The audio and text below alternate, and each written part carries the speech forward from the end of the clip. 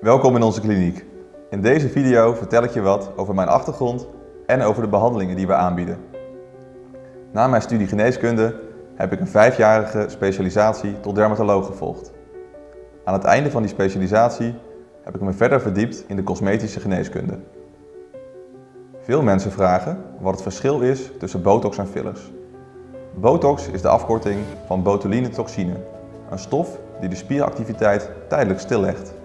Door het in een spier te spuiten kan je die spier een paar maanden niet gebruiken, waardoor rimpels langzaam minder diep worden.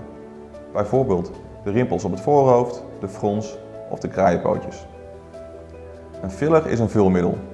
Het wordt gebruikt om plooien op te vullen of om volumeverlies te herstellen. Bijvoorbeeld wallen onder de ogen of de neuslippenplooi.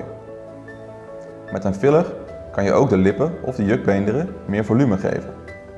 Het resultaat van een filler blijft ongeveer een jaar zichtbaar. Wat voor u de beste keuze is, is heel persoonlijk. Daarom begint elk bezoek met een adviesgesprek. U kunt dan uw wensen aangeven, waarna u van mij een persoonlijk advies krijgt. Ik vind het daarbij belangrijk dat resultaten natuurlijk zijn. Een goede botox- of fillerbehandeling is namelijk bijna onzichtbaar. Het is wel de bedoeling dat u er frisser uitziet, maar niet de bedoeling dat anderen kunnen zien wat er gedaan is.